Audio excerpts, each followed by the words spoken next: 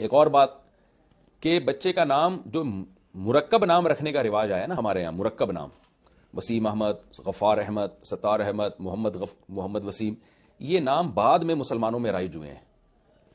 अंबिया की सुन्नत, सहाबा ताबीन की सुन्नत है, मुफरद नाम रखना, मुफरद। मुफरत का मतलब क्या होता है? सिर्फ़ मोहम्मद नाम रखे, आगे अब्बा का नाम आ जाए।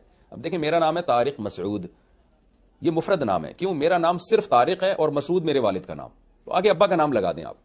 और आगे चाहे कौम लगा दें, जैसे खान तारिक मसूद खान लगा दिया आपने। खान कौम तो कौम को शो करने में भी कोई हरज नहीं है। अरबों में अब तक के ऐसे नाम होते हैं। तो अंबिया के नाम आप देख लें, आदम, नूह, इस्माइल, इसहाक, याकूब। कभी आपने देखा इसहाक अहमद मोहम्मद आदम? तो हमारे नबी सल्लल्लाहु अलैहि वसल्लम का नाम भी सिर्फ़ मोहम्मद तो आप बच्चे का नाम सिर्फ़ मोहम्मद रख लें, मेरे बेटे का नाम अलहमदिल्ला सिर्फ़ मोहम्मद रखा मैंने, एक का नाम सिर्फ़ यूसुफ रखा मैंने, एक का नाम सिर्फ़ इब्राहिम रखा, इस्माइल या ये सारे मुफरद नाम।